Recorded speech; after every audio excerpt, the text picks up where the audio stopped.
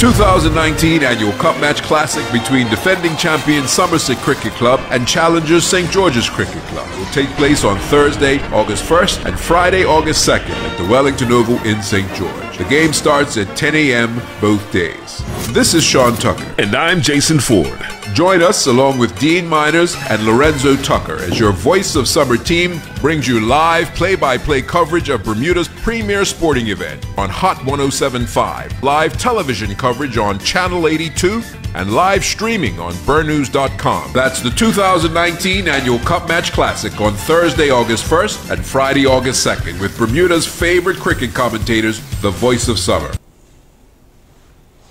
Welcome to Bernews News and Views.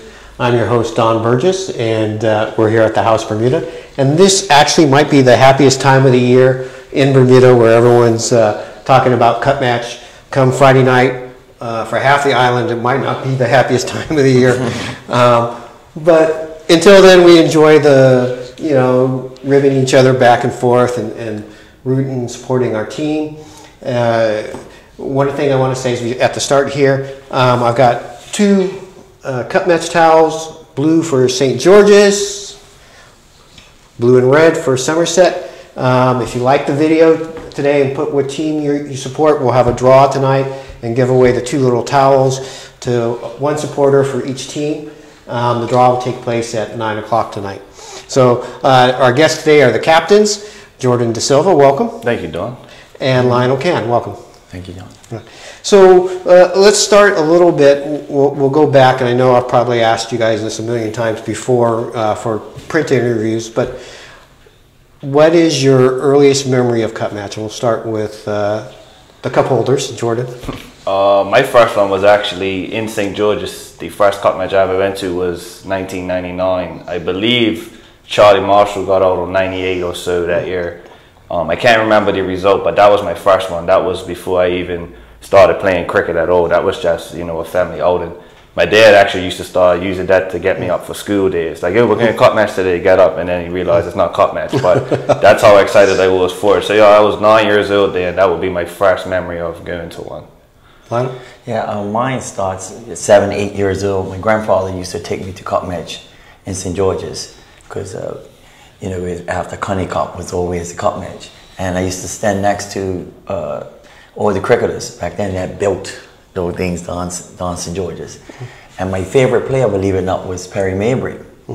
And I used to stand next to Perry Maybury and um, he, he'll talk to me while he was in, in the pavilion and um, that's when I learned how to swing ball but obviously from St. David's, I had to stick with St. George's. So like seven years old was my first memory going to cup matches. When did you know you were always going to be rooting for Somerset? Was your, was you, did you come from a Somerset family?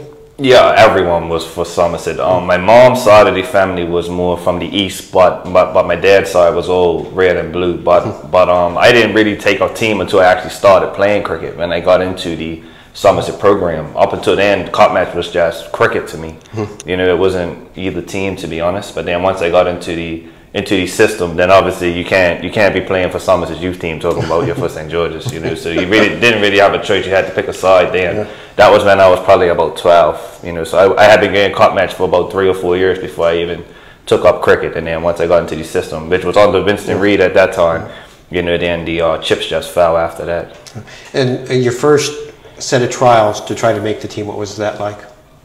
To be honest, I can't even remember that year. the, the only thing I remember about that year was 2004 was my year that I, it was actually the year I got picked as reserve. The only thing I remember from that year was that I was torn with the under 15s. We were in the Cayman Islands that year and we were coming back on the Sunday after the teams got picked. And someone was on the phone with their mom and they said, oh, let Jordan know congratulations. And I'm like, congratulations for what? I really didn't know. And then when I got home, my mom told me that oh, you got picked reserve for cup match, which I didn't think was possible if you didn't play mm-hmm. the final trial. That that's honestly the only thing I remember from that year. I cannot remember any of the trial games, what I did in them, nothing. But I, I remember that that conversation. That's pretty impressive to be picked and not play. Yeah, I mean, all of them was unheard of, you know, even as a reserve. And I was only 14 at that time. So at that point, you're thinking 14 years old, somebody must be playing a prank on me or something. But it, it was true. So to be honest, that's the only thing I remember from that year. I don't remember any of the trials or my performances or anything. Lionel? Well, for me, it was uh, Eastern County getting in at Eastern County at 14 years old, and my progression was uh, cricket. But it was me. I had to wait my turn, you know, because I had uh, Noel Gibbons, Clevie Wade, Arnold Mendes, Clay Smith, Randall Smith. It was no way for me to get into St. George's team. So uh, me, I had to go through the system. I had to earn my way in. And um, actually, I went to Somerset. My father is from Somerset, mm-hmm. and took me Somerset to uh, train. Actually, I was training with Somerset. I had two training sessions with Somerset, and um, I remember that night they came onto the field and said, "Whoever's not financial members has to leave the field," and they called out my name, mm-hmm. and I had to leave the field. That was a Thursday night, and we played St George's on the Saturday, and I made hundred. And when I came off the field, it was four selectors from St George's waiting for me in the change room, saying what, what is this you're going to Somerset? You know, you're guaranteed in our team. and that's the only way I got in St. George's that year because they figured I was going to go Somerset. So they had to uh, leave out Clevie or no and let me in. But I was really way younger than that, but I had to wait my turn. There was so much quality cricketers back then. I mean, you're both on the on the selection committees. Um, what thought process goes through when you see somebody young trying to make the team, and then you know normally they might be for Somerset, and they're over training with St George's or vice versa. Um, I, I, think Logan Jones. I think he's a Somerset supporter. I saw he's, was in the final trial for for St George's this year. Is there any like, oh, we need to get this person back. We want them for the future, sort of thing? Um. I haven't really had that issue yet since I've been captain in, the four years. I mean, you see players like Logan. He also played co-cup match for St George's mm-hmm. on the weekend um, I haven't really had that issue. I mean, the thing that I think about when I think about a young player is how I was thinking when they were meeting and, and picking the team. It's like I don't have to go through that anymore because I'm in the meeting, you know. But but I haven't really had that dilemma in terms of you know somebody that's uh you know maybe 50 50 mm-hmm. you know it, to us is because we have open invitation for our trials so if you want to come you come you know if you don't then we know you're not interested you know, so so we take it as is that if, if, if, you're interested in playing for Somerset, you'll show up. If you don't, then obviously you're not interested. So we haven't really had to deal with that type of dilemma. Not since I've been captain, but I'm sure it, it has happened beforehand. Um, yeah, um, as soon as you see a young talent and you think it shows about everything, you want to get them into the team. I know when I became captain in 2006 in Somerset, and we had to, then I went back in 2008, we needed a spinner, and young Treo Grovia then, he was 15 years old, he was young, and we was in the selection, and you know, the selection uh, guys were like, he's kind of young. I said, I don't care if he's young, we need a spinner, let's groom him and take him. So I selected him at, uh, at 15 years old. But I mean, I, I believe if you're ready, you're ready. Um, nowadays, it's a lot easier for younger people to make it because teams aren't. Back back in the uh, 80s, 90s, you had set players that were very good, and you had your team, and then you might make one change. Now, if you're you're a good cricketer, you're going to get the opportunity. So for me, it's pretty easy. If you're young, you're good enough, you should get the opportunity. Well, uh, that's kind of interesting. There's two th- two things I want to go off your your comment there. Captain in 2008. You, this is your third time around as captain. Yes. Uh, what's what's what's that like? I mean, last year you didn't play, and, and now you're back in the team, and not only back in the team as captain. Yeah, I mean, it's nice to be captain. I think I've always been a captain. You know, captains are born, I believe, and um, I've always been a captain. And, you know, last year, St. George's took a different route. You know, a lot of youngsters and a lot of coaches. And obviously, Somerset uh, put it to them, you know, and we've learned from that, that that's not the road to take. You know, you need some sort of seniority around. So for me, it's, it's, it's easy for me to be a captain, and because I know what cup match is, and I know how it feels for people and, and you know emancipation and stuff. So mm. for me, I've, I've always groomed myself for it, so it's pretty easy for me. Yeah. The, the significance of the holiday, what does that mean to you guys? Well, we all know as Bermudians, you know, what it represents. You know, it represents a big, big day in our history, and every year we make sure that that uh, we celebrate it properly. And as players, we know we have we know we have responsibility to uphold that standard. You know, because at the end of the day, these are our two days. You know, no other country does what we do. So we have to make sure that we always are respectful. You know, play the game in the right spirit. Because yes, it's not it's not about the cricket, but at the end of the day, the cricket is the highlight of it. You know, Emancipation Day has nothing to do with cricket at the end of the day, but we know that that's what we use to to celebrate it. You know, so we have to make sure that we always uh, hold ourselves to a higher standard. You know, cricket it gets heated. You know, Somerset versus St George's, whether the league game, football. You know, he plays you know football for St George's. It, it, it always is. You know, but cup match obviously is just another pedestal. It's the best 22 players on the island. So you know, we know we have to uphold the standard for everyone because everyone's looking. You know, and now 2019, the game's getting streamed in all sorts of different countries. You know, it's not like back in the day where you had to be there to witness it. People could witness it from everywhere. So Right. the audience gets bigger, which means that you know it's more pressure on you to make sure that you hold that standard. Uh, You, you talked about streaming. We ran the video at the beginning part, but I'll just take a moment to, to reiterate. You know, Channel 82 locally is, is doing it. Um, Bernews has has through the courtesy of Channel 82, we'll be streaming it on our website so people, you know, wherever you are in the world, you'll be able you'll be able to celebrate this day. Um, going back, you said uh, you know it's. It, where chops and changes for teams. And I, I showed Jordan before you arrived, but like um, I did, I did an analysis of the of the two teams for the past decade. So I'll show I'll show you 1st So this is Somerset, and this is St. George's, mm-hmm. and and you can see like for Somerset that you know it's pretty consistent of who they're ch- picking every year, whereas St. George's, you know, you've got an, an average of almost four changes per year. Mm-hmm. How do you think that determine? I'll show that. Hold this up. I don't know if our audience will be able to see this very well. No, Dennis is shaking his head. But I, uh, I, I, how do you think that affects the team chemistry where you're having to make an average of four changes to year? Yeah, I mean, obviously it affects it, but you know, it's a cycle. You know, when St. George's had the cup, I remember like 18 years we had the trophy, so it would have been reversed. So if you do the 70s, the 80s, it would be more, and it's a cycle. And you know, now Somerset are uh, are the champions, so they have to make less changes. But you know, it's like everything it changes. So once St. George's get the trophy back, it will change back again. It- It's just that's the way it is. When you're trying to win a trophy, you're always taking chances. Mm-hmm. You know, um, for St. George's, we've had some unfortunate incidents where we couldn't. You know, we had young Landro Miners that would have been playing for mm-hmm. longevity, young for Craig Crockwell, through circumstances that we have to make changes. You know, we've had some unfortunate incidents, but Somerset are a very good team. They built a very good mm-hmm. unit. And what, what Somerset done was take a move from St. George's.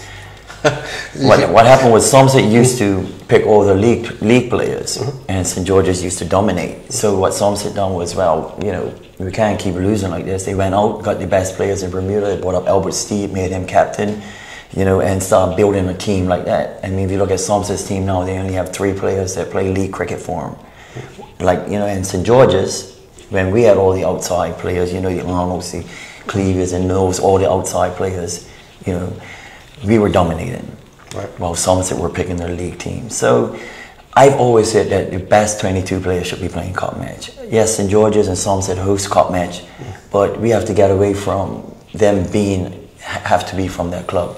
Yeah. People want to pay money, a lot of money nowadays, mind you. Mm-hmm. It's exceptionally expensive to get a, a, a spot or something, you know, a cup match, and they want to see the best players. So until we get do that, we'll, until both clubs, you know, get playing the best players, that's the only way cup match needs to go. Yeah, I mean, part of the thing, I'm not old enough to remember, this even before my time, but like, you know, Somerset never used to pick anybody that lived across the bridge at one point. I mean, Cheesy Hughes um, in, in the in the 50s was the first one to, to break that mold Yes, yeah. and, and, and add to the strength of the team because, you know, not everyone lives in Somerset or St. George's. I don't know if there are any boundaries for St. George's as well. No, well, I don't know. The only boundary in St. George's is, is St. David's. Trying to get like St. David's Parish. You know. But um, yeah, and you know, it's, like I said, it's a cycle, and the best players uh, should be playing. What, what do you attribute uh, Somerset's success for this decade? Well, I think first of all, like he said, everything's a cycle. You know, when I came into the team, we didn't have the cup, and the year I got picked, there were two other colts along with me. There was two recalls, and then the next year there's another four changes. You know, so if you don't have the cup, you got to do things to uh, to get it get it back. Now, obviously, we've been in a, a, a privileged position Whereas eight or nine of our guys are available every year, you know, they're mm-hmm. performing throughout the season. So it's like, you know, the nucleus of our team stays together. You know, and like like Lionel said, St. George's had that period when it was himself, Glenn Blakeney, Charlie Marshall, mm-hmm. Clay Smith. These guys played every year because they were successful.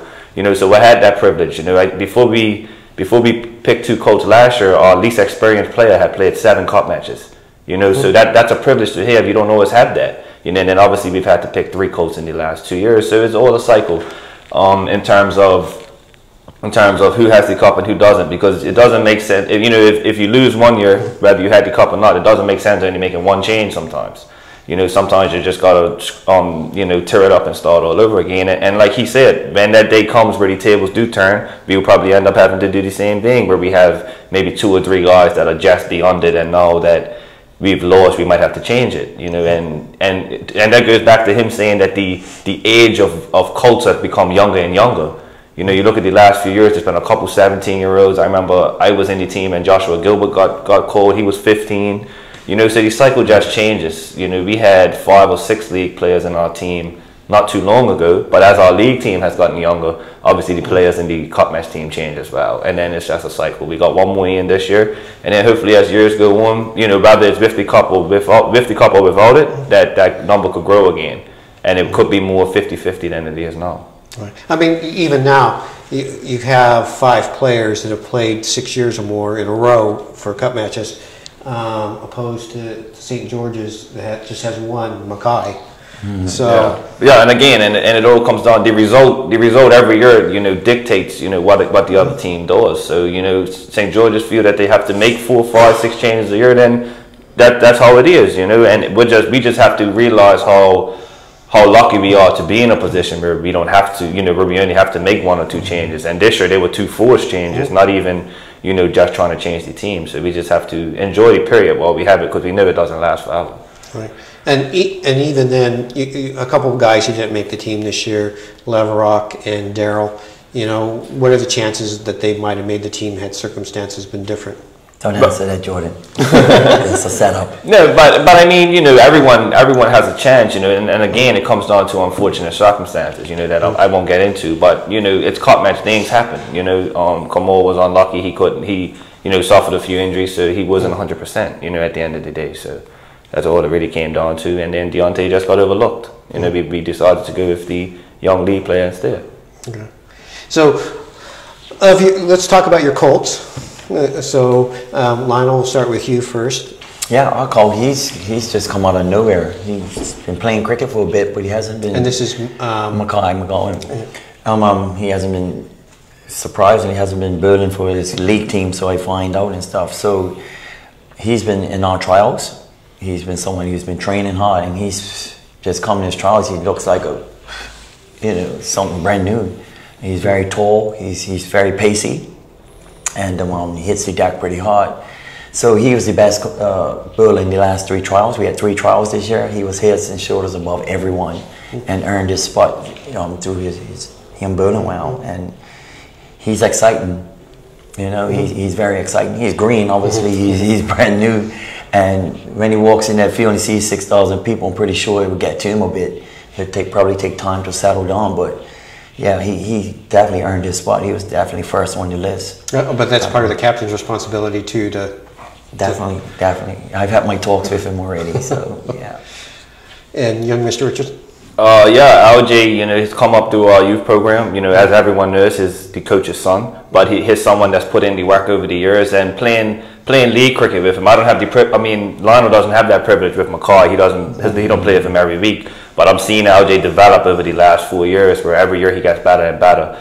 The um, he's just spent the last year in Cardiff. You know, the school that's that's you know a few Bermudian players have had the privilege of attending, and he's just you know every year he's gotten better. You know, since he's been back, his I think he only has one school under thirty you know, out of out of about six or seven innings, he scored up I think 350. So you could see the development, and he played he played a very important innings on Saturday in difficult conditions. It didn't rain like it did in St George's on Saturday, but it was overcast all morning. You know, the wicket was doing a bit, and he scored a very patient 46. You know, which which is what we which is what we're looking for in terms of on the day. You know, we lost Trey Mendes, who plays that type of innings. You know, very compact. You know, very good uh, technical player, and we felt that LJ mirrors him the closest. But but like but like I said, being able to watch him every week, you know, for the last three or four seasons to see his development, you know, we, we said, you know what, he's ready to go now, and we just look for him to step up on Thursday and Friday.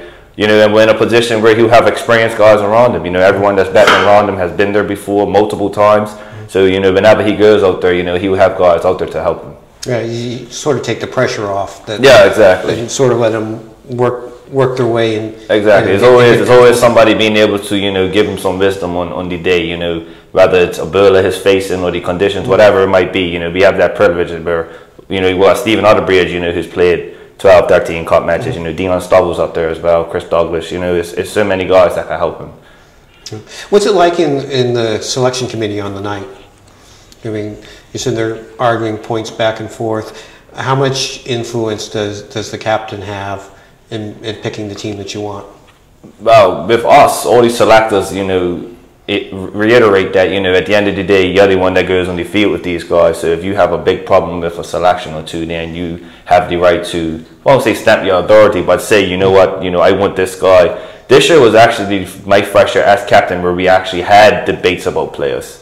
You know, every other year the team more or less picked itself, but then with the with the circumstances we were under this year, we had to we had to make some changes. So I mean, everyone was in agreement with what we did. You know, mm-hmm. no one walked out of that room unhappy in terms of they didn't get the team that they wanted. We all agreed on it, which was a good thing. But we did have a debate with him and a couple other players in terms of who who should take that batting spot. Mm-hmm. But but all in all, in the meetings that I've been in, you know, we've all been on the same page. This year was actually the first year with a couple selectors. My first three years was all, all five people were the same.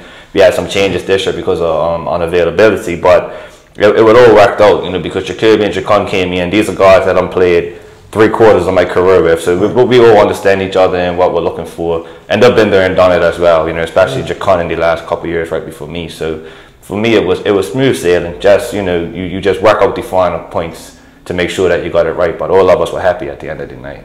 Lionel? Oh, it's been pretty easy for me myself also from the first time I ever been captain because I always, me as captain, wanted to pick the best players. And when I was contacted this year for St. George's, that was one of the things I said um, for, in the interview. If you guys want me to be captain, we have to pick the best players. I don't care where they play, whatever. And when they called me say I'll be captain, I knew already that we're going to pick the best players. So it was pretty easy this year. We had a lot of players to pick from, but the players that are picked picked themselves to their performances. So it was it was it was pretty easy. I know you've probably heard this from people, probably said this to you, but like they, they feel like in, at St. George's that there's too much club politics and who gets picked. I'm pretty sure you hear that everywhere. Um, it's just one of those things that, that happen. It's St. George's is a very close knitted community club, and the people that play for them happen to be family, and so you're going to have that sort of conflict. Or people, when you're not winning, everything comes out, right? Mm-hmm. So if you're winning with, with all your family and friends, everybody's saying make the family grow bigger, right? Right. So it's unfortunately that right now St. George's is going through a, a time where they're losing, mm-hmm. and family are the people that are playing. So it's just a political thing, but um, you know, all I've heard this year is, is that it's, it's a very good team. What do you like about your vice captain, Onias? I mean, he stepped up big last year. Well, Nias comes from a cricket family, right? So, you know, all the brothers. I mean, even the youngest brother now, Indy, I think he's better than all of them, to tell you the truth. I mean, he's come on ice. First time I got to see him was this year. He's a very, very good little cricketer. So he come from a cricket family, and it was just a matter of time that he was actually going to be playing a cup match, right? And and maybe be captain one day. Um, with him, he, he, his 100 last year will go a long way to him understanding his role. And when the team gets in trouble, how, he, how um, what he has to do. Um, at the end of the day, I'm there to make sure that he's, he's the next captain to pass on any little knowledge I have. You know, we've had our talks now. We see things pretty straight. He's a more of a defensive captain. I'm more of an attacking captain. But, you know, he has to find the right balance, and he's young enough. So, hey, he, he's got passion for St. George's, and he wants to win. That's what you want on the field. You want your players that are going to fight for you, fight for the cause, fight for what cup match means, and there's the type of players that we pick. Right. Interesting enough, Terryn, I think I ran into him when he, he went and watched the football team. He was in Dallas, and, Okay. and he was at the concession stand when I ran into him out there. What, what do you like about him as, the, as a vice captain? uh, with, with Terryn is is his able his able to bring people together. You know, he's one of those guys that he gets along with everyone. He's always the one where the team needs a little kick up the backside. He's the one that delivers it. You know, if we're in the field and everyone's quiet, he's the one that comes in and says, "Look, you guys, you know, you know, he he's just that player. He was like that before he was vice captain, which is why he made the step up. But he's always been one of those guys, and his game shows it. You know, he goes out there, he opens the batting. You know, and everyone knows that opening batting is probably the hardest thing to do in cricket. And he goes out there and leads the way. You know, so he so in his own way, he he leads the team because he goes out there first. He always puts his head down. You know, I- I'm sure Lionel will attest. It's always a hard batsman to get out. You know, when he gets in, especially when he gets in. So he's always one of those guys that lead by example. You know, and he brings everyone together. He gets along with everyone, and his, he just keeps everyone close knit. You know, that's been one of our successful. One of the reasons we've been successful recently is how close knit we are, and Fray is one of the biggest reasons for that. But Somerset has a lot of big bats in, in, in your lineup. Um, even if somebody falters, there's always Yeah. like there's always somebody else there getting a 50 or a 100. But but that that's also part of it. We we look back over this period that we're here, and it's always somebody different. You know, Derek Brangman was MVP one year. Fray got it one year. Uh, Greg Maybury got it one year. Generic. You know, it's never the same person two years in a row. You know, you might have someone that's successful both years in a row, but it seems as if every year someone else takes up the baton. Last year was Dion Stovell. You know, a few years before that was Trey Manders. You know, so I think we've, we've been privileged where we're not relying on just one person. You know, it was always so much talk about what are we going to do when Janeiro retires, but we found a way because somebody always steps up. You know, last time down St. George's, you know, Kamal Leverock came back into the team, had a good game. Uh, you know, so that's what it comes down to. You know, Chris Douglas scored his first 50 not too long ago. So with all the success that we had, Chris wasn't really involved in terms of the runs, and then he stepped up the last two years. Obviously, him and Fray had that big partnership to start last year. So that that's one of the biggest reasons why we've been successful because every year it seems like somebody takes the responsibility to make sure that we get over the line and not just relying on the same person year to year. What, what's it like when you're out on the field and you, and you and you're bat first, and the guys step up, and they get that big partnership right from the start? Well, anyone will tell you, anyone that's been a captain to uh-huh. tell you, when you've been to toss and bet, the last thing you want to see is a wicket fall early. Mm-hmm. You know, so to see 100 go up on the board without loss, then 150, you sit there and say, okay, I guess I made the right decision. Mm-hmm. And and last year was more so because we wasn't 100% sold on batting first. It's a decision that we all came to when we got to the field, and obviously it paid off. But as a captain, it's like, it's like when you're in the toss and field. You know, you want to make sure that after a half hour you got two or three wickets because you have to justify your decision. So that when you're a captain, any decision that you make once it's justified, you know, you, you can feel easy about it. The last thing you want is to win the toss and bet and you're 20 for three. You know, or win the toss and field and the 100 without loss. You know, so so to win the toss and bat, which is like I said, is, and it's also something we hadn't done in a while. We hadn't batted first and cup match for a few years, so we went against the grain a little bit, but ultimately it paid off. So as captain, you can't really ask for more than that. Yeah, uh, all the betting pundits uh, who had bet bet for St. George's batting first last year lost out. Yeah, exactly. Because I knew they probably would have batted first if they wanted to toss. So yeah, we, like I said, we've been completely against the grain from what we had been doing in years previous. Yeah. Same thing, you know, but at the opposite end. I mean, last year you were in the stands watching, um, seeing Somerset. But I was not in the stands watching. I was at home. I turned my TV on for an hour. And I started to cry, and I turned it off. and, then, and then the last time, next time I turned on my TV was when uh, Somerset won. I could not bear to watch. It hurt me. Yeah, really painful. Yes, yeah, I'm a cricketer. I mean, hey, I'm, I'm passionate, you know, so yeah, I'm very emotional type of cricketer. Win, lose, or draw, and I just cannot bear to watch it. Yeah. It, it seemed like a few times over the last um, four or five years, St. George's have gone out and they've lost a lot of wickets early. How do you try to steady the ship at that point? Well, the, that is the problem. That that's the biggest problem. St. George's uh, uh, since 2012 have not even been in the match. So you know the, the biggest thing is that your first innings you have to get a total. You know you want to get at least 190, 200, and you're in the match. But Somerset has, has been on top ever since 2012. So they've had, had the chance to dictate what goes on for the whole two days.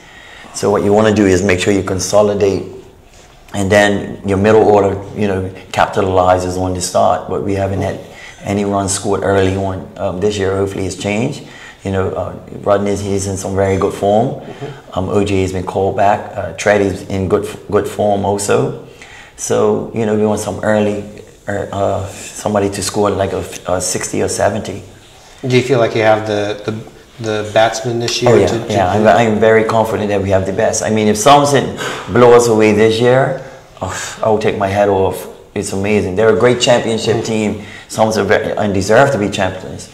But this this is the first time since 2011 that I would say 2009 that we've had a complete team. Somerset, we although we lost in 2012, Somerset have been coming and coming for a while. I mean, 2008 we had us in trouble. 2009, 2010, 2011 they could have won. You know, so they, it, it didn't just happen. It, they were coming and coming. It was only destined before we actually lost. Hmm. So this is probably the best team we've had in 10 years that could compete with that can compete with Somerset. Yeah, I, I think like fans probably well maybe they don't, but like appreciate your candor about you know what's been happening at St. George's over the last few years. Oh yeah, yeah, yeah, yeah. You know you can't hide it; it's there. You have to talk about it to get to the problems, and then you move on from it. You can't you can't continue to hide what's been going on. Yeah. Now you're at the opposite end of the spectrum. You know, last culminating with last year's two for one. Um, what was that like playing that and, and, and achieving something that hadn't been achieved for 70 years for, for, for Somerset? Well, to be honest, I had no idea about that, that part of it until later that night. You know, when when we won, it's just about winning first. you know, and then obviously winning as captain is a different feeling. You know, not many people get the privilege of captaining a cup match, and then even fewer have the privilege of winning as captain. So that was first for me. You know, then the historical significance came later. But uh, the, the relief was that we didn't field the hill second day for a draw, to be quite honest with you, because Onias's innings, you know, almost got him over the line in terms of getting a positive result. So that was the relief part of it, you know. And then, of course, the two for, two to one that that was that's been coach's baby since he took over. it really has since 2012. That's been his thing. You know, every time every time we even think about just betting out the day or something, he's like, nope, we're gonna. You know what I mean? That's it's been his thing. So he finally got that as well because he took over the year that we won the cup back. You know, we had we had lost a few years. You know, 2000. He brings up 2011. He scored the winning runs that year. you know, but um, and then coach came back the next year, and, and since then he has just has just been hopping on that. You know, because it's been so successful. So I guess as a coach, the coaches are never satisfied. You know, so this year he'll probably say he wants a two to one by more runs. That's just how coaches are. You know, so that was his thing. You know, so, so to achieve that, you know, and we just want to continue the success. You know, whether it's a win, whether it's a draw, whether it's a win by one run, it doesn't really matter to us. Mm-hmm. We just want to continue the positive momentum we built up over the last seven years. Is is there any pressure to, to continue the run? I mean, the part of the thing is like, especially after last year was such a huge victory does the pressure mount to keep the run going and make this like possibly the greatest Somerset team ever? Well, it's always pressure because you, you there's always pressure to not lose. You know, they don't really have the pressure of not losing as we do. That, that that's how it would be if they were the champions. You know, they know that there's always more pressure when you have something to lose. You know, the, the, the challengers could always go all out, and then if they fall short, it's like, okay, we had to do that. So that's the added pressure as it is. But in terms of being one of the greatest teams ever. We're just looking to stamp our, you know, we want to just build our dynasty, you know, whether it's compared to some of the teams. I mean, St. George's had the greatest teams, you know, there's, there's teams under Bromley Simons and all that, but we're just looking to just continue what we're doing now, you know, and it, at the end of it, if it puts us up on a, somewhere with the other great teams, then so be it. But we're just looking to just continue. You know, every year is pressure because you can't lose. You know, if you lose the cup, then you never know when you're going to get it back at the end of the day. So it's pressure anyway. It's, you know, so yeah, we just handle it every year. Do the things that work for us. You know, if it's not broke, don't fix it. Everyone knows that saying. Mm-hmm. And you just hope that that the same things that have been working work every year. But we also, but we also know that sometimes you have to change your game plan and you know your mentality about things. And then at the end of the day, you hope it works out. Uh, one of the things I like is like both you guys are just reeling off names and people and things. How from previous cup matches, how important is it to be a student uh, or a student of the history of, of Cup Match and know what's happened before? You know more history than me. oh, that's, that's my age, right? So, um, um, yeah, I mean, you have to know where you're going. You have to know where you came from, right? So, um, I know in my era, that's all that older people talk to you. Ex Cup Match players were always around the club. Uh, you come to trials, training. It was always someone over there and giving you the history You know, they'll approach you, sit down, and tell you, "Hey, youngster, come here, let's have a word." And they, they tell you about their history, history before them. Um, nowadays, it's a little different. You know, the youngsters don't really worry about history. They worry about today. They live for today. You know, the world has changed. Something that we really need to get back to.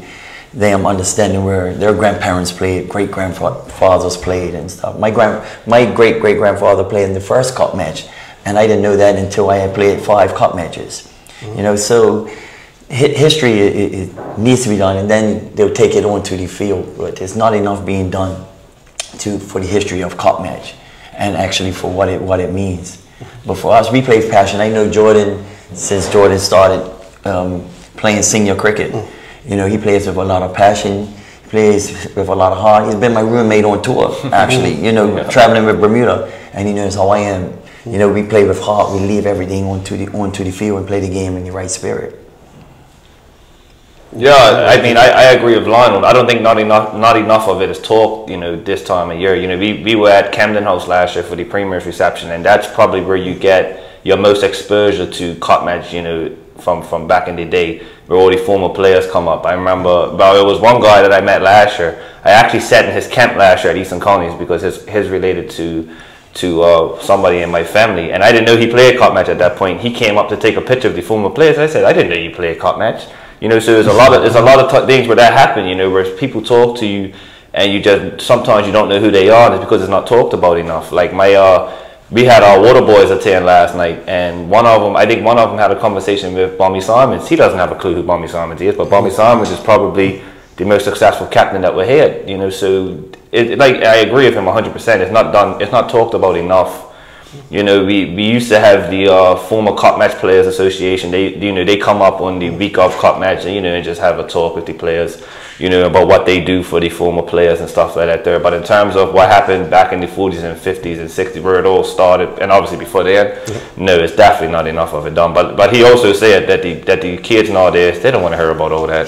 they really don't. Like if they can't if they can't play it or see it on the computer, they don't want to hear about it. They don't want to look in a school book from 1930. They just don't, you know. So I guess the, the few that are still interested in that have to try hard to make sure that that continues. But it is an uphill battle. Maybe we can persuade EA Sports to do a video game version. Yes, and something. you have you select the legends. Yeah, like, something. if you don't do that, I don't see how else it will work. Yeah. uh, Dennis, if you could bring up the, the list of the teams, um, just we'll, we'll start with with, with St. George's. Um, no, Somerset. With Somerset. Okay, thank you. Start with Somerset. Okay, we'll go with the cup holders. Champions first. Champions first. Champions first. Um, uh, we talked a little about Terryn already, but Stephen Outerbridge.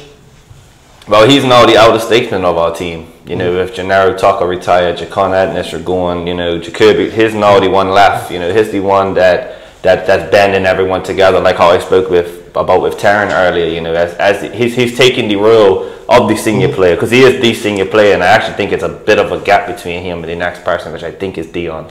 So those are the two that are like are older dirties. So um, his, his definitely taking the mantle. He had his best cup match last year. You know that was easily his best innings. You know, unfortunately for him, and even for us as a team, he wasn't able to get hundred. You know, because for all our good work, none of our guys made hundred, which was a bit unfortunate. But um, it was just glad to see him because every time it seems like somebody writes Steven off, he he proved himself again. You know, I remember Mike year as captain in 2016, we were in early trouble. St. George's had us three down real early, and him and Janeiro saved the day for us. You know, and he's, you know, I think he got out on 49 that year, and he put his head down, and, and that's the Stephen Outerbridge that we know. You know, people ask me all the time, I say, look, when I'm in trouble, I want to be able to call on Stephen Outerbridge because more times than not, he, he, he, he uh, gives you what you need, you know, and he's taking that, that role even more now as being the, the older person of the group. Right. Because we have such a young team still. Yeah. Chris Douglas? Chris, Chris is Chris. You know, his, his one of our more, and Lionel will know, he's one of our more unique players, you know, but his, he's the type of guy you have to have in your team because it's always going.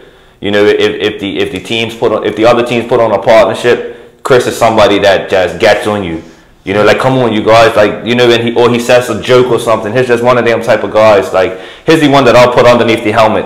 Just even if the ball's not to come to him, just put him there because I know that he'll make a nuisance of himself. Sort of like how a footballer does. He's the cricket version of that.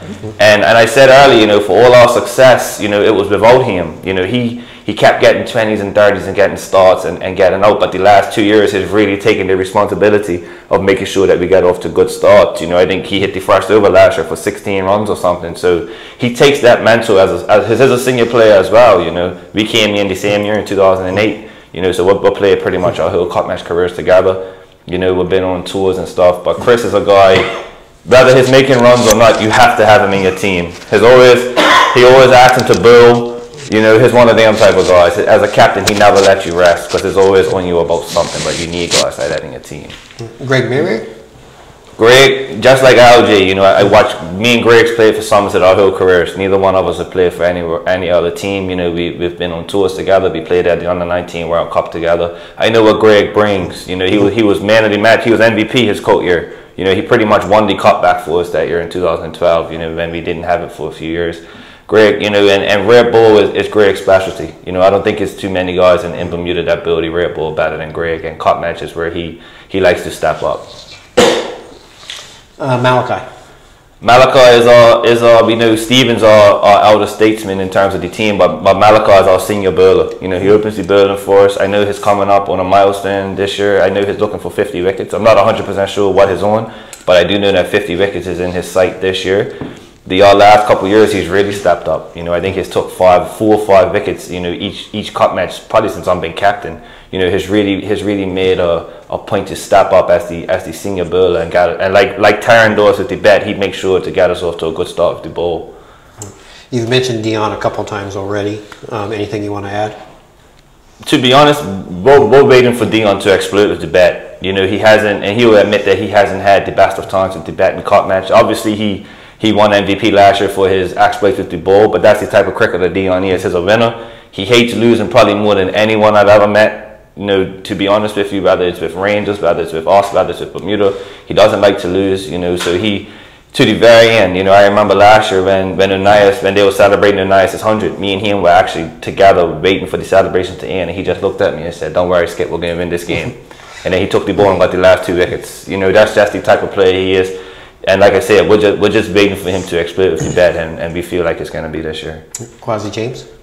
Crazy, another one. Yeah, Crazy, another one. You know, his at Willow Cuts and all, but his one that came through the program with me. You know, I actually coached him in in our youth summer camps some years back, probably about ten years back now. So I'm seeing Crazy grow as a player. His his stepped up on his batting. You know, he opens the batting for his club team. Obviously, he won't be able to. Do, well, he probably won't be able to do that for us. He might have to take a different role in the team.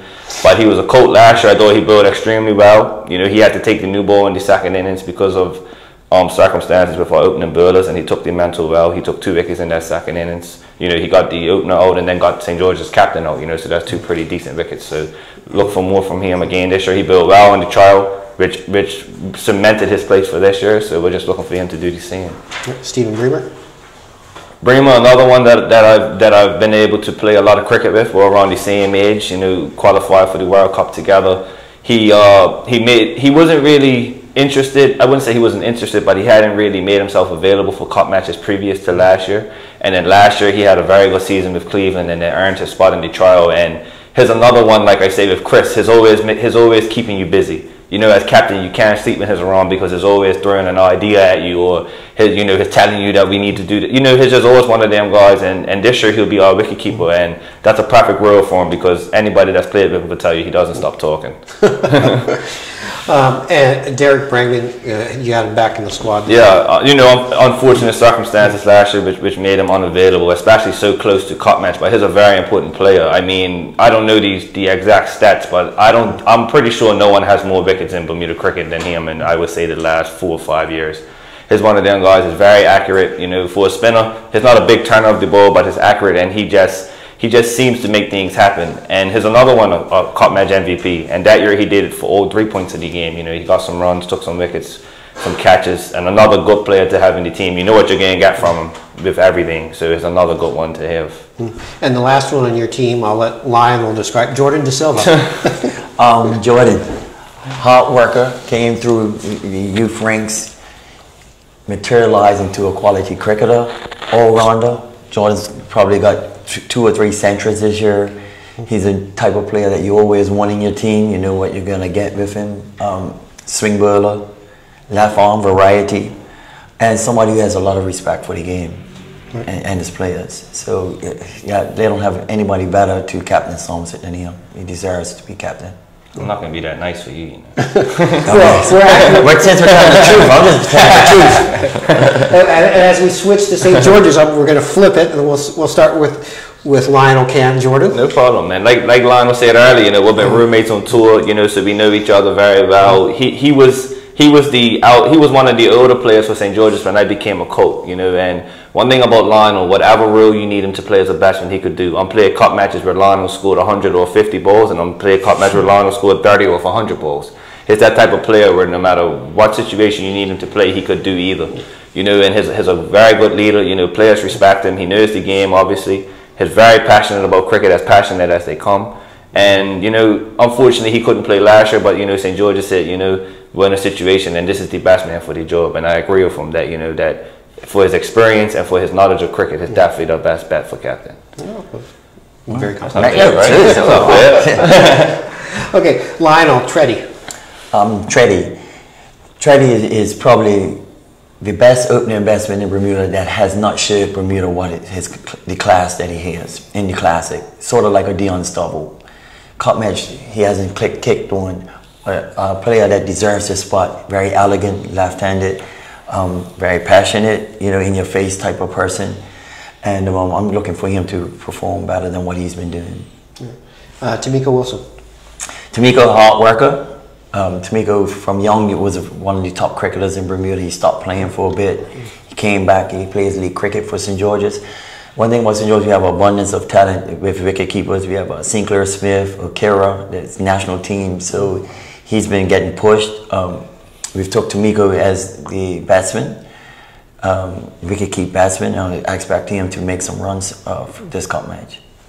Uh, Mackay, last year's captain. Mackay, um, Mackay is, is a new player than last year. He played captain cup match obviously last year at St. George's. Um, he's growing this year as a, as a player. He scored a lot of runs this year. Sometimes you just need to get away. Some people need to get away. I think it was a good decision by him leaving to get away. His game is growing. He's, he's in the national program now. He's made sacrifices.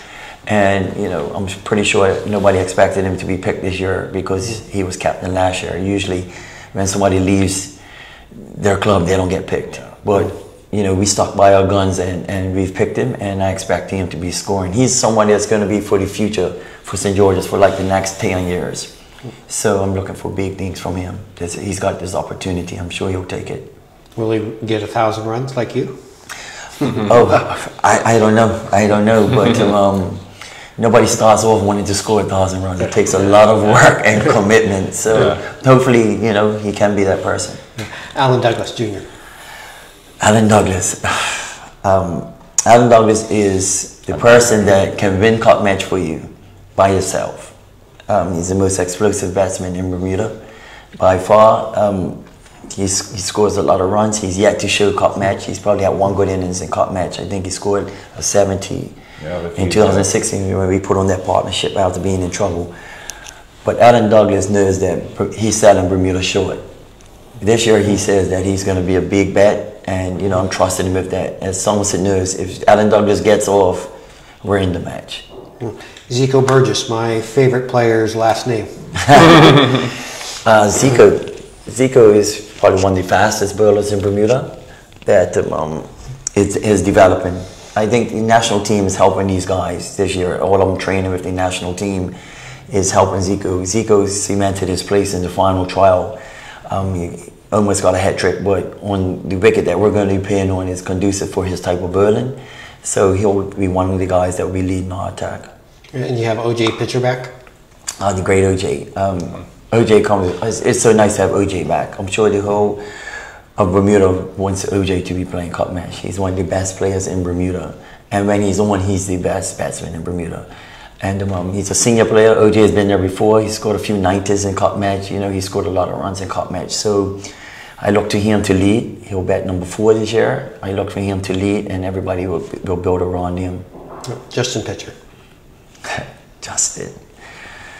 Well, everybody knows Justin, what he brings to the table. You know, Justin's got five wickets in cup match. He's got 50 runs in cup match. everybody knows what Justin Pitcher. Justin's growing this year now. He's, he's matured a lot. He has a, a new son. And I think that's helped him. Um, Justin's a competitor. As you saw, Eastern County, he never gives up. He's somebody that plays from the heart and um, a, a worthy guy, and he's another bowler that will lead our attack also. Yeah, and the last one that we haven't talked about yet today, Rodney Trott. Rodney. Um, Rodney has not been playing for a couple of years, but obviously his stats and stuff speak for itself. Rodney fights to the end. Um, he's developed into an opening batsman this year. He scored a lot of runs opening batting this year. He'll open bat for us, and he's he's a spin bowler. Rodney is a person that can, you know, get wickets and cup match, stabilize if you want to. A very good fielder and he has knowledge of the game. So he'll be close to us when we're making our decisions. There'll be a few decisions that will have to be made as team. It's one thing I enjoyed about Somerset before Jordan even became captain. You had your, my nucleus, you had your Nero, you had your Con, you had your Kirby, you know, then Jordan came Triple in. J. Yeah, yeah. So, you know, they all came together and, and to make decisions. You want everybody to feel welcome making decisions. I won't be making all decisions on my own. And Rodney is one of the guys that will I will lean to, to, to help make decisions. Having that experience for and this is for both of you, having that experience to rely on, how does that take some of the pressure off? I mean, at the end of the day, it's still your decision, but mm-hmm.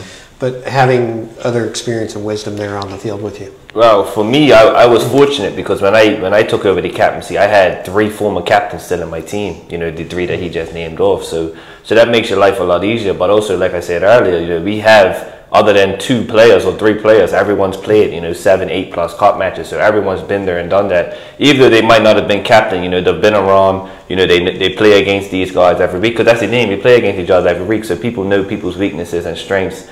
And some guys play against other people more often. You know, like if, if I'm with somebody, for example, Chris, Chris will probably know Alan Douglas more than I do. Not just because they're cousins, but because they play together. You know, so small things like that make a big difference, you know, or or, with Fray, Terryn Fray might know, you know, what put Zico off. They play together, you know, so you have to take from everyone. And, and the fact that we have so much experienced guys, and even one of, you know, somebody like Stephen Brimmer who only played one cup match, you know, he's older than me as well, you know, so I have that privilege where I'm, I'm got a lot of guys around me, and it does make a difference. The more, you know, because obviously the more heads, you know, the easier the work is. So it's definitely, it's definitely something that you look to utilize.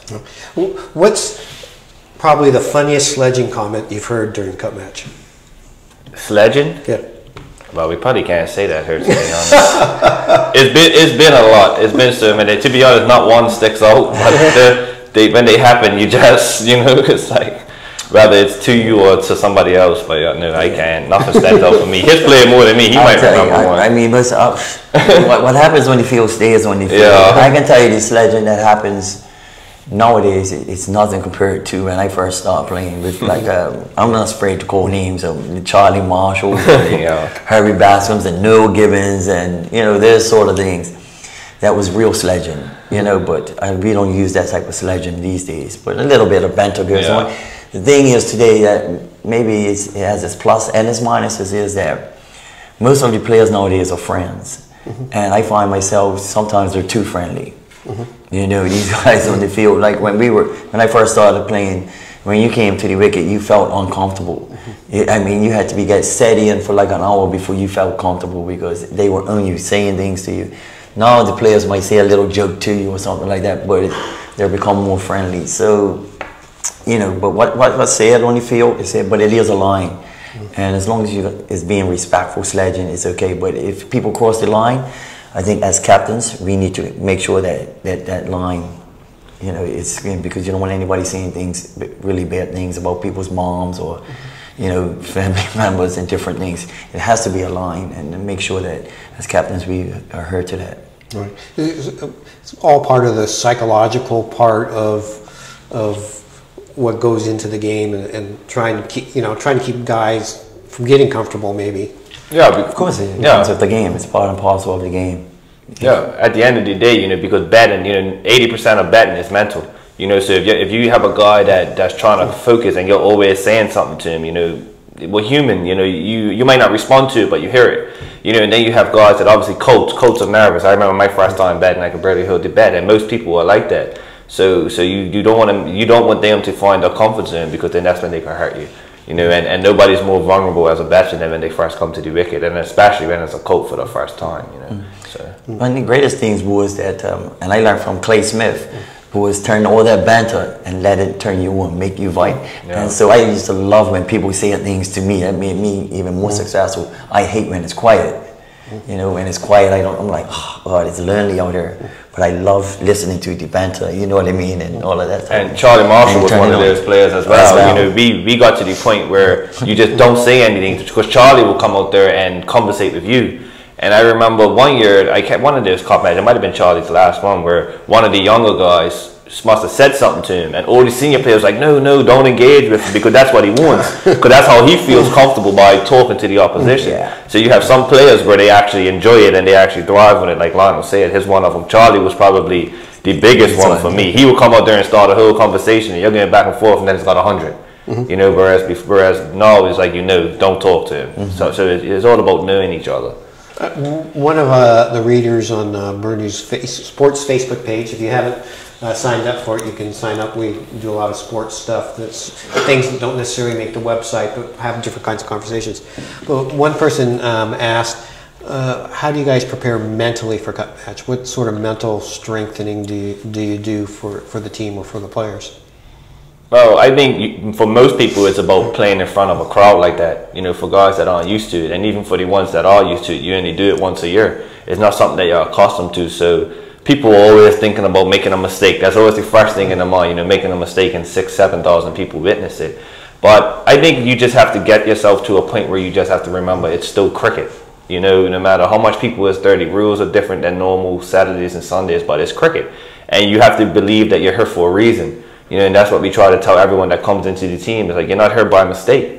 You know, you're here because you're good enough, and you just have to remember that. You know, this this God is about to build to you builds to you every week. It's not, you know, it's nothing different. But you just have. I think you have to get used to the people, the atmosphere, because it's something that you don't experience, which which why I think it makes it even harder for Colts. You know, because in international cricket, you could play in front of big crowds, but then you get your test, you know, your first test is different. Mm-hmm. But for Bermuda, because you only play in front of small groups every week, the biggest thing is playing in front of a whole host of people. And like you said, now in this day and age, it's all over the world. It's not just the people at the ground. I think that's the biggest thing is getting used to that that part of it. Mm. I'm like Jordan said, you know what I mean? It's the crowd for, for most people. Some some people can play in front of crowds, but what I tell my youngsters is that uh, coming in, live normal. Your normal side of life. Every day you do the same thing, just continue on. You know, if you if you go to bed at one o'clock in the morning every night, go to bed at one o'clock at cup match. Don't change the way that you live. The same normal. You want your life as normal as possible. That's that, that's the biggest advice I give to them. Now we've mentioned Charlie a couple times. I think Charlie's last cup match, he was 46, maybe 47. Uh, 48. He was 48. He's 48. Do you expect to be playing? I'm not making it. I'm not making that. What do you know? 46. Two years? I'll tell you what. yeah, um, I, I enjoy cricket. I enjoy cricket. I think hmm. cricket hmm. nowadays, like I was telling those guys last night, was that cricket needs the senior players now more than ever. Hmm. You know, all the senior players got out at the same time. Cricket is on the decline right now because we don't have enough senior players playing. Leaving the youngsters to play. But it's, it's a big gap. So we need the senior cricketers involved doing the right things So It don't make sense being a senior cricketer and doing the wrong things, right? You want to pass on the knowledge and stuff. You have to be active. You still have to be good enough. You can't just be say you can't live off the past. Every innings that you're starting from zero.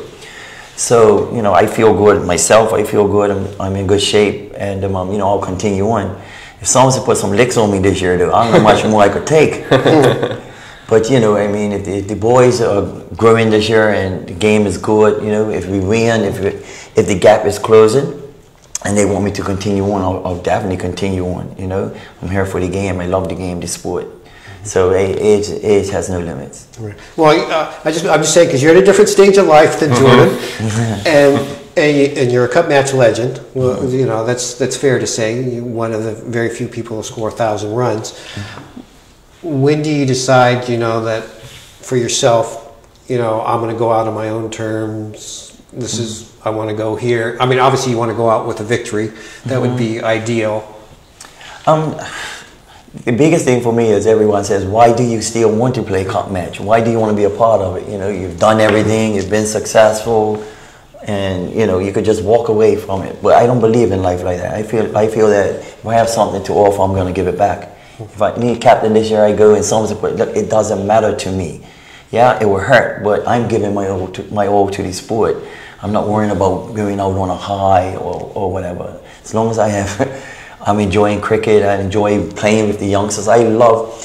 The biggest turn on for me is watching a youngster out there playing a cover drive and nobody moves. Yeah. And, and you know, I'm I'm not afraid to say I cry at times. You know, we are playing Connie last week. I said, "What you doing? Why are you crying?" I said, "Because we are going to keep this cup." Yeah. We were ten of us from probably losing the trophy. If I was playing for Bailey's Bay, I was like, we would have won this game easy. But we escaped. And why are you crying? I said, because passion. You know, so as long as I'm still having those sort of emotions and, and feeling, I know I'm in the right place. I'll well, continue on playing. I can hear the little tremble in your voice as you're speaking. Yeah, I can feel the passion that you have. It's it's just like that. Watching commercials and watching things and stuff like that. I still get, I still feel it. You know what I mean? So as long as I'm feeling that, I'm, I'm continuing on. Hmm. Jordan, how long do you think you continue playing or, or wanting to be captain?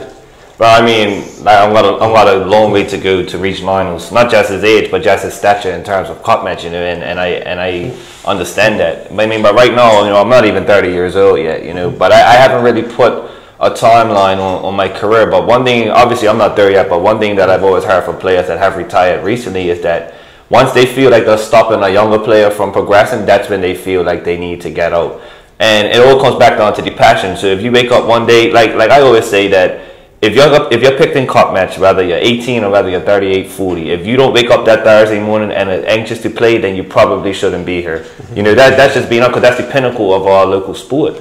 You know, so so the guys that I've spoken to has just said where they just got to like Jekon was the most recent one last year. He just said he just got to the point where you're not enjoying it anymore. You know, and luckily for Lionel, you know, at his age, you're still enjoying it. And if you're enjoying it and you can still give to the like, if you still feel as if you're making the team better, then why not? You know, you could be 50 if you feel you're making the team better. There's no reason why, you know, you should play. You know, but uh, like like on Sunday, I was watching the Colt Cup match team. You know, Somerset had a 13 year old bowler that you probably saw in the newspaper mm-hmm. today. You know, and he took four wickets the day before that. So if you get to a point where you're like, you know, his getting hindered because of an older player, sometimes it just, you know, it, it, every situation is different, and you're the only person that knows that.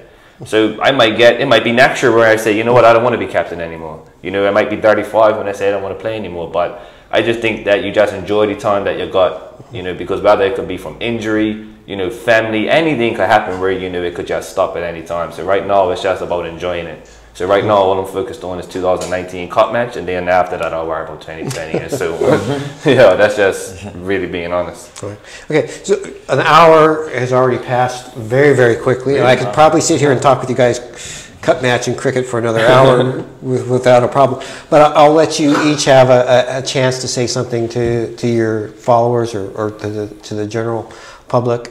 Um, and we'll, we'll start with Lionel. We'll give the cup holders the last word. Yeah, first of all, I'd like for everyone to come and enjoy Cup Match, people that are coming to the game.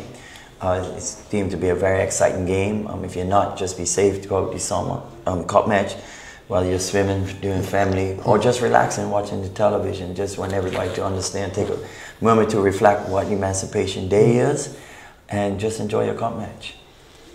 Same, really. You know, the, the Somerset fans, you know, make, make the journey you know, the game will be exciting, whether win, lose, or draw. It will be an exciting two days. Hopefully, you know, Mother Nature doesn't, you know, interrupt like it has the last couple of days. And you know, it's gonna be it's gonna be a good holiday. It always is. You know, I always say whenever I do any interviews that these are Bermuda's days. Nobody mm-hmm. else does this. You know, we take off the two days, we play cricket, and just enjoy yourself. You know, whether you're away, whether you're at the beach, whether you come to the game or not. You know, just just enjoy it. Be safe you know, be around your family, you know, support your team, whether it's Somerset, whether it's St. George's. You have to pick a team. I don't want to hear all this neutral stuff. You have to pick a team. Yeah, but you know, just just enjoy it. Be safe and enjoy it. That's all. I appreciate both of you guys being here to, to talk about Cup Match. Um, just as one last reminder, um, if you want one of these towels, just put a comment with team you're for uh, underneath the underneath the video and we'll hold, I'll hold the draw later tonight to, to award the two towels and and see who it is. Also, one little bit of business keeping. Um, we are, will be streaming the match uh, on the Bernews website, so you can also watch on channel 82. That's another way. I'll be live tweeting the match as as usual, trying to do keep the stats and uh, and make comments. And, uh, uh, as I was telling Jordan earlier today, I have a copy of um, uh, Alma Champ Hunt's book that he wrote after 50 years, the first 50 years of cup match. So I use that for reference. So I knew that Somerset hadn't had a two for one Okay, since yeah. since the 1940s because it, it was recorded in there. So um, if you're out elsewhere and you can't be uh, live streaming or you don't have the bandwidth, you can just check the tweets out on Bernews Sports.